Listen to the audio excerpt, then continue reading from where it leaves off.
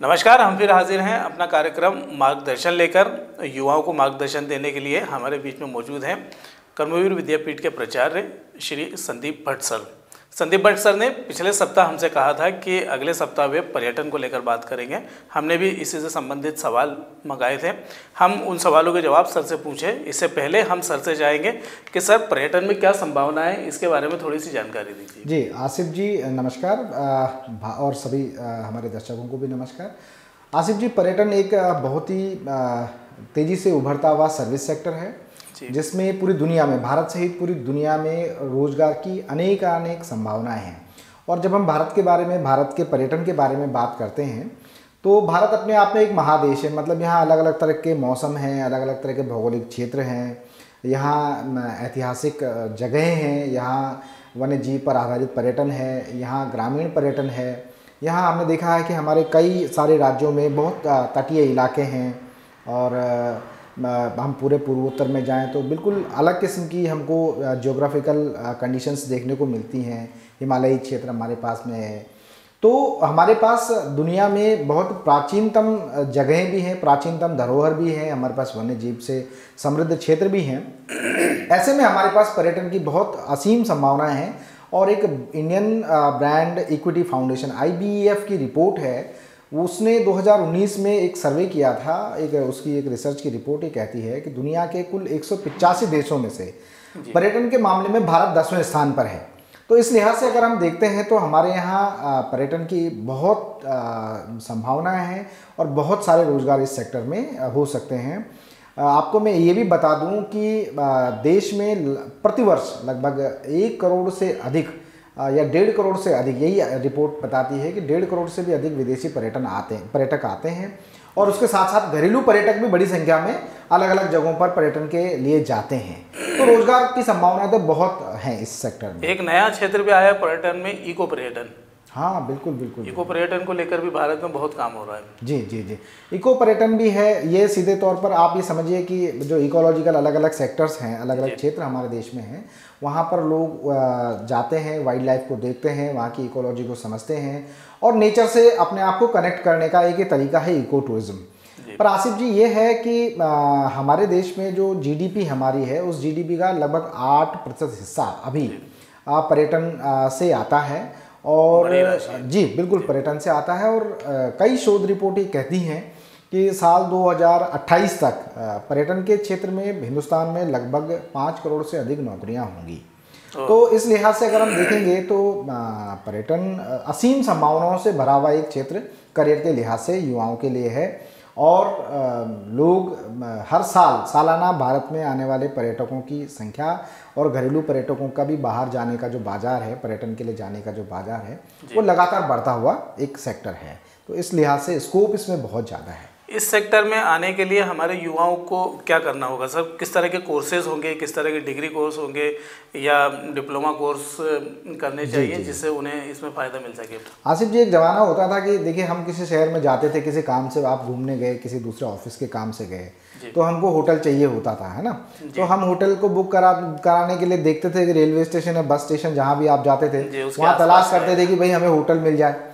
आज की तारीख में ये है कि आप खंडवा से कहीं जा रहे हैं मान लीजिए इंदौर जाना है आपको दो या तीन दिन के लिए जाना है स्टे करना है वहाँ पर तो आप इतने सारे ऐप आपके पास हैं मतलब ट्रैवल एंड टूरिज़्म से रिलेटेड आपके पास में वेबसाइट्स हैं जैसे आप में से बहुत से लोगों ने मेक माई ट्रिप का नाम सुना होगा यात्रा डॉट कॉम का नाम सुना होगा ओयो का नाम किसने नहीं सुना है? तो बिल्कुल। एक परिदृश्य बदल दिया है तो इस तरीके के नए ऑप्शंस बहुत आ गए हैं तो उसमें क्या हुआ है कि अलग अलग स्किल्स वाले लोगों की ज़रूरत भी पर्यटन में लगी है। और जो आप कह रहे हैं कि योग्यता क्या चाहिए तो देखिए पर्यटन से संबंधित जो भी कोर्सेज होते हैं ये आपके दसवीं के बाद से शुरू हो सकते हैं सर्टिफिकेट लेवल के डिप्लोमा लेवल के। उसके बाद में आप बीबीए या bachelors in tourism and travel management का कोर्स एयरलाइन टिकटिंग का कोर्स आपके पास में गाइडेंस का कोर्स क्योंकि ट्रैवल डेस्टिनेशंस में क्या होता है गाइड्स की भी बहुत रिक्वायरमेंट होती है। इवन आपको आप हम मतलब सिर्फ़ देश की बात ना करें देश से बाहर भी अगर आप ट्रैवल एंड टूरिज़्म इंडस्ट्री में काम करना चाहते हैं तो फॉरेन लैंग्वेजेस के कोर्स हैं जो सर्टिफिकेट लेवल से लेकर डिग्री लेवल तक के कोर्सेज हैं। आप स्पेनिश का कोर्स करें मैक्सिकन का करें फ्रेंच का करें इटालियन का करें। आप किसी भी फॉरेन लैंग्वेज का कोर्स करके भी ट्रैवल एंड टूरिज़्म इंडस्ट्री में जा सकते हैं। तो सर्टिफिकेट लेवल उसके बाद डिप्लोमा लेवल उसके बाद डिग्री लेवल ये तीन तरह के जो है आपके पास में नॉर्मली ऑप्शंस हैं जिनको करने के बाद ट्रैवल टूरिज़्म का सर्टिफिकेट डिप्लोमा या डिग्री करने के बाद में आप अपना करियर थोड़ा सा ट्रैवल एंड टूरिज़्म में शुरू कर सकते हैं। और एक अच्छी बात यह है आसिफ जी कि ये बहुत ही रोमांच से भरा हुआ करियर रोमांच से तो भरा बिल्कुल आपको नई जगह भी देखने को मिलती है नई नई जगह नए नए लोगों से मिलने का अवसर मिलता है। तो अगर आप ट्रैवल एंड टूरिज़्म में जाते हैं तो ये भी एक थोड़ा सा आपको इसका एक एडवांटेज मिलता है। सर देश भर में टूरिज़्म को लेकर काफ़ी कुछ इंस्टीट्यूट्स हैं जो हाँ। ये काम कर रहे हैं। इसमें स्किल्स की क्या ज़रूरत पड़ती है? किस तरह के इंस्टीट्यूट आप इसके अंदर चूज़ कर सकते हैं? इस बारे में कुछ जानकारी देंगे अपने युवा जी।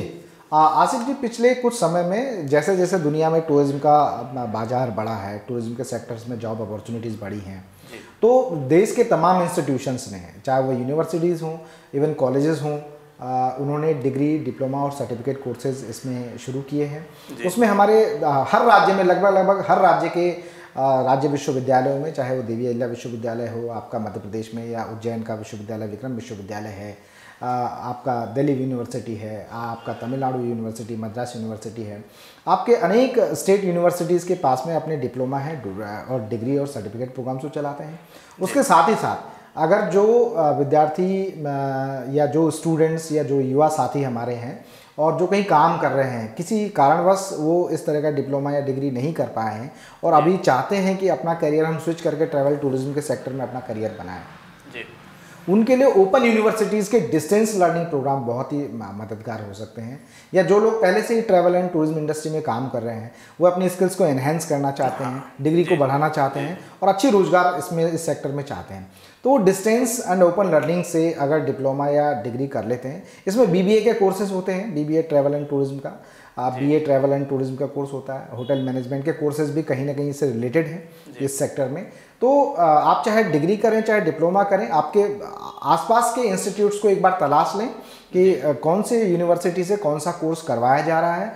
और डिस्टेंस से अगर आप करना चाहते हैं तो हर स्टेट में लगभग लगभग आपके पास में एक open and distance learning university होती है। उसके भी कोर्सेज आप ऑनलाइन चेक कर सकते हैं। जी जी।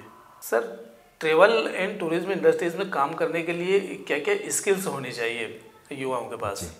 आसिफ जी चूँकि ट्रैवल एंड टूरिज़्म इंडस्ट्री में जो लोग काम करते हैं उन लोगों के पास हमेशा हमेशा नए लोग आते हैं नई भाषा वाले नई संस्कृति वाले नए भौगोलिक क्षेत्रों से पर्यटन चूँकि बाहर से ही आए हुए लोग होते हैं है ना? और अगर आपके घरेलू पर्यटक भी हैं तो अलग राज्यों से हो सकते हैं अलग शहर से हो सकते हैं।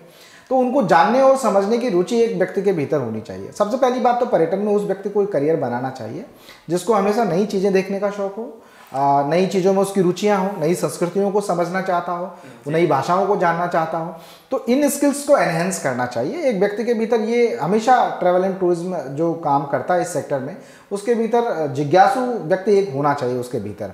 नई भाषाओं को समझने का सीखने का नई चीज़ों को सीखने का शौक अगर आपका है नई चीज़ें देखने का नई जगह घूमने का शौक अगर आपके भीतर है नए खान पान खाने का आपके भीतर शौक है नए लोगों से मिलने का आप जो है जज्बा रखते हैं आपको शौक़ है। तो इस सेक्टर में आने के लिए ये कुछ स्किल्स हैं जो बहुत ज़रूरी हैं और आपके भीतर हैं तो आप ट्रैवल टूरिज़्म की तरफ़ एक अच्छे करियर के लिहाज से मूव कर सकते हैं। आपको ज़रूर जाना चाहिए। बहुत बढ़िया धन्यवाद सर आपने जो सारी जानकारी दी। अमूमन ये माना गया है कि प्रोफेशनल कोर्स महँगे होते हैं। जी। तो आप इस तरह कुछ मार्गदर्शन देंगे कि बच्चों को कुछ इसमें थोड़ी सी राहत मिल सके? नहीं आपने ठीक कहा आसिफ जी। आ, कई बार कोर्सेज को लेकर के उसकी फ़ीस को लेकर बहुत भ्रांतियाँ होती हैं। लोग ये सोचते हैं कि प्रोफेशनल कोर्स हमेशा महँगा कोर्स है। और इसलिए हमारे युवा साथी कई बार प्रोफेशनल कोर्स को अपने करियर के लिए नहीं चुनते हैं। लेकिन ऐसा बिल्कुल नहीं है। आप देखिए आपके स्टेट गवर्नमेंट्स की जो यूनिवर्सिटीज़ हैं राज्य सरकार के जो विश्वविद्यालय हैं राज्य सरकार जी के जो कॉलेजेस हैं और ओपन यूनिवर्सिटीज़ हैं वहाँ पर फ़ीस बिल्कुल नाम मात्र की फ़ीस होती है।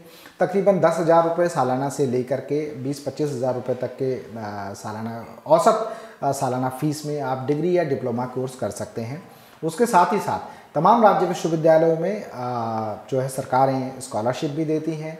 अलग अलग तरह की छात्रवृत्तियाँ विद्यार्थियों के लिए होती हैं। तो युवा साथियों आप बिल्कुल ये ना सोचें कि हम सब ट्रैवल एंड टूरिज़्म का कोर्स करने के लिए बाहर जा रहे हैं तो बहुत फ़ीस लगेगी बहुत महँगा कोर्स होगा बहुत कठिन कोर्स होगा। ये बहुत ही रोमांच से भरा हुआ करियर है। आ, कम फ़ीस में आप अच्छा कोर्स अपने आसपास ही तलाश सकते हैं और एक अच्छा करियर उसमें बना सकते हैं आसिफ जी। ये तो हुई सर की बात। सर ने बताया टूर एंड टूरिज़्म हम किस तरह अपना भविष्य बना सकते हैं। कुछ सवाल भी हैं सर जो हमारे पाठकों ने हमसे दर्शकों ने पूछा है हमसे। आरती पूछ रही हैं कि पर्यटन और होटल मैनेजमेंट कोर्स करने के लिए एलेवंथ में कौन से सब्जेक्ट लेने चाहिए? ट्रैवल एंड टूरिज़्म इंडस्ट्री एक ऐसा इससे जुड़े हुए जो पाठ्यक्रम है आसिफ जी इस में कोई खास स्ट्रीम आपको नहीं चाहिए? अगर आपने आर्ट्स का कोई कोर्स किया है ट्वेल्थ में आपके बारहवीं में आपके आर्ट्स के सब्जेक्ट रहे हैं तो भी आप जा सकते हैं आपके साइंस के हैं तो भी जा सकते हैं आपके कॉमर्स के बैकग्राउंड है तो भी आप इसमें अपना करियर होटल मैनेजमेंट में और ट्रैवल एंड टूरिज़्म इंडस्ट्री के कोर्सेज में जा सकते हैं किसी भी कोर्स में। आप अगर बैचलर में ले रहे हैं डिप्लोमा में ले रहे हैं या सर्टिफिकेट में ले रहे हैं तो कोई खास बाध्यता नहीं है कि आपका पर्टिकुलर सब्जेक्ट होना चाहिए तभी आप इसमें जा सकते हैं। सर दीपाली पूछ रहे हैं यदि हम होटल मैनेजमेंट कोर्स करना चाहते हैं तो कहाँ से करना चाहिए? किस यूनिवर्सिटी से बेहतर होगा? देखिए आपके पास में मध्य प्रदेश की हम बात करें तो यहाँ पर स्टेट गवर्नमेंट के अपने राज्य सरकार का अपना होटल मैनेजमेंट के इंस्टीट्यूशंस हैं। उसके साथ ही साथ हमारे पास में ट्रैवल एंड टूरिज़्म मैनेजमेंट का एक सेंटर एक अच्छा इंस्टीट्यूशन ग्वालियर में है आई आई टी एम और उसके बाद जो है हर विश्वविद्यालय में ट्रैवल एंड टूरिज़्म के जो डिपार्टमेंट भी हैं कोर्सेज भी वो कहीं ना कहीं संचालित करते हैं। लेकिन जहाँ तक बात आपकी खास होटल मैनेजमेंट की आपने पूछी तो होटल मैनेजमेंट एक सेक्शन है एक हिस्सा है ट्रैवल एंड टूरिज़्म इंडस्ट्री का मात्र। तो अगर आपको होटल मैनेजमेंट से रिलेटेड कोई कोर्स करना है तो आप स्टेट के अपने होटल मैनेजमेंट इंस्टीट्यूट से इस तरह का कोर्स कर सकते हैं अलग अलग उसमें बारहवीं के बाद भी और दसवीं के बाद भी इस तरह के कोर्सेज उसमें चलते हैं।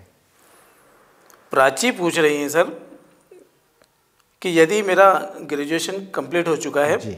और मैं अब होटल मैनेजमेंट में जाना चाहती हूँ तो मुझे क्या करना चाहिए? होटल मैनेजमेंट को लेकर थोड़ी सी ज़्यादा रुचि है युवा। हाँ बिल्कुल लोग होटल मैनेजमेंट एक समय में तो आसिफ जी बहुत अच्छा कोर्स था कोर्स भी था और बहुत अच्छा सेक्टर भी था।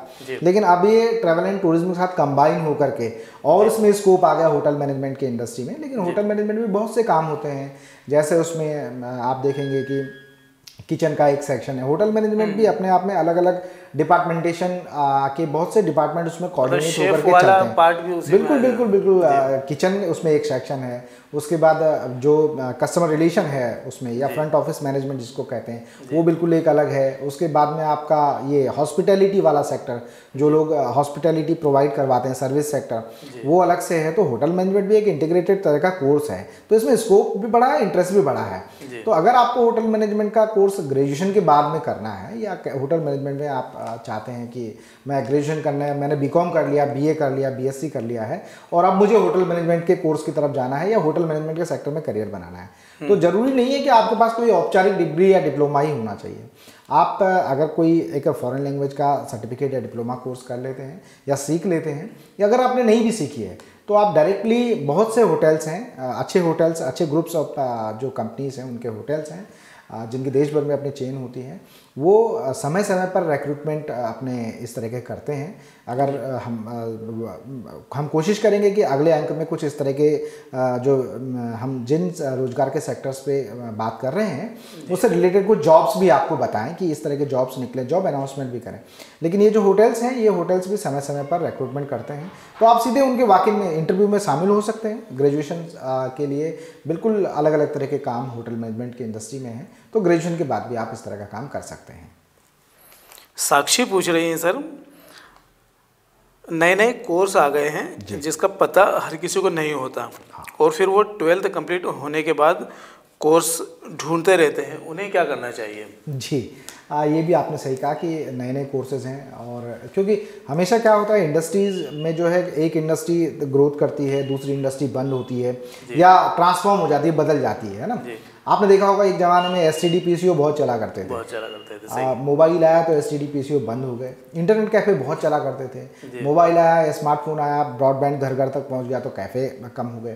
तो एक इंडस्ट्री दूसरी इंडस्ट्री को इन्फ्लुएंस करती है मतलब उस पर इफ़ेक्ट भी डालती है।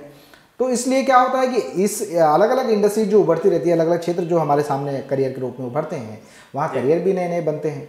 विद्यार्थी के सामने ये समस्या होती है नौजवानों के साथ में कि कई बार हमको मालूम नहीं होता है कि हमारी रुचि किस तरफ़ ज़्यादा है हम क्या कहाँ करियर बनाएँ। तो इसके लिए बेहतर ये है कि आप कुछ अखबारों को पढ़ें मीडिया को समझें और उसको उसका उपयोग करें। आप उसमें करियर से रिलेटेड मैं आपको बताऊँ कि आज के दिनों में समाचार चैनलों में भी रोज़गार की जानकारियाँ दी जा रही हैं। आ, ये आ, हो गया है ये आलम है आसिफ जी, जी। उसके साथ साथ आपके पास वेबसाइट्स हैं। आप बिल्कुल अपने मोबाइल पर सर्च कर सकते हैं कि मुझे मोबाइल में लेकिन बहुत सारे मामले ऐसे आते हैं मिसगाइड होते हैं कई बार। तो बहुत सारे लोग बहुत सारे लोग सिर्फ़ अपनी खबर चलाने के लिए हाँ। इस तरह की झूठी खबरें भी उसके अंदर डाल देते हैं और जब हम उसको सर्च करते हैं तो वो चीज़ें सामने होती हैं। बहुत सारे बच्चे उस पर भरोसा करके कई बार धोखा भी खा जाते हैं। हाँ ये तो है इसमें भी थोड़ा सा मतलब आप ज़रूर मोबाइल पर सर्च करें सारी चीज़ें देखें लेकिन उसकी विश्वसनीयता पूरी तरह परख लें कि आप जिस वेबसाइट को देख रहे हैं वो कितनी विश्वसनीय है। इसीलिए तो इस तरह का कार्यक्रम हम कर रहे हैं। इस कार्यक्रम का उद्देश्य ही विद्यार्थियों को करियर के प्रति नए रोज़गार के सेक्टर्स जो उभर रहे हैं उसके प्रति जागरूक करना भी इस कार्यक्रम का एक महत्वपूर्ण उद्देश्य है। और हम चाहते हैं कि हमारे युवा साथी जो हमारा ये कार्यक्रम सुन रहे हैं और जो जिस कार्यक्रम पर हमने जो चर्चा की है, उससे जुड़े हुए सवाल अगले अंक में भी पूछ सकते हैं, बिल्कुल। आपके मन में कोई सवाल आता हो, आपने डिग्री, डिप्लोमा करने के बाद भी आपको लगता है कि मुझे कुछ और नया करना है तो आप बिल्कुल अपनी जानकारियाँ पूछ सकते हैं साझा कर सकते हैं। यही इस कार्यक्रम का उद्देश्य भी मेरे ख्याल एक सवाल और था सर कोमल सोनी ने भेजा है ये। पर्यटन से संबंधित ही पूछना चाहती हैं ये चाहती हैं पर्यटन से संबंधित कोर्स के लिए क्या करना पड़ेगा और इससे किस तरह की पढ़ाई करनी होगी? मैं सोचता हूँ शायद ये सारी बातें हम बता चुके हैं। हाँ बिल्कुल बिल्कुल। इसमें सब्जेक्ट भी क्या होगा ये भी हम बता चुके हैं। बिल्कुल बिल्कुल शालिनी नायडे का सवाल है कि नर्सिंग करने के लिए क्या करना होगा? कौन सा हाँ कौन सा कॉलेज बेस्ट होगा और कौन से सब्जेक्ट लेना पड़ेगा? ये थोड़ा सा इन्होंने हाँ, हमारे अलग करके सवाल है। आज के विषय पर आधारित नहीं है बिल्कुल आपने कहा लेकिन चूँकि उनकी क्वेरी है तो अपन बता देते हैं। देखिए नर्सिंग का कोर्स अगर आपने बारहवीं विज्ञान विषयों के साथ में किया बीएससी नर्सिंग का कोर्स जो है बारहवीं के बाद शुरू होता है। इसके शासकीय जो नर्सिंग के कॉलेज भी होते हैं बहुत सारे इंस्टीट्यूशंस भी होते हैं और आपको बतौर नर्स करने के लिए नर्सिंग काउंसिल ऑफ़ इंडिया में रजिस्टर्ड होना पड़ता है। तो बीएससी नर्सिंग का कोर्स अगर आप करते हैं इसके बाद में आप बतौर नर्स काम कर सकते हैं। आपके पास बहुत से इंस्टीट्यूशंस हैं। समय समय पर जब उनका एडमिशन प्रोसेस उनमें शुरू होता है तब आपको एडमिशन के लिए एप्लीकेशन करना होता है और जो कॉलेज के एडमिशन प्रोसेस है उसके हिसाब से मेरिट में अगर आप आते हैं तो आप पीएससी नर्सिंग के कोर्स में एडमिशन ले सकते हैं।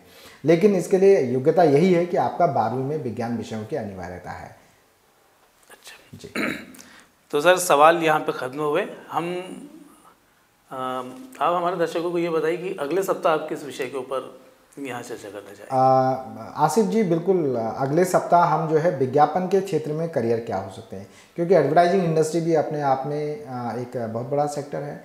और हम कोशिश करेंगे कि इस अपने इस कार्यक्रम में हम लगातार नए से नए उभरते हुए सेक्टर्स के बारे में अपने युवा साथियों को जागरूक करें, उनको बताएँ कि इस ये जो सेक्टर है, ये इसमें रोज़गार के लिए नई संभावनाएँ हैं और आप जाकर के उसमें बेहतरीन करियर स्थापित कर सकते हैं, तलाश सकते हैं। तो हम विज्ञापन के क्षेत्र में रोज़गार की संभावनाओं पर अगले अंक में बात करेंगे।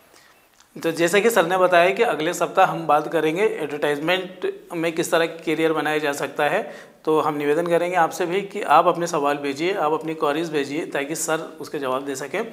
सर, आज के इस कार्यक्रम में शामिल होने के लिए S W twenty four news की पूरी टीम की ओर से आपका धन्यवाद। शुक्रिया।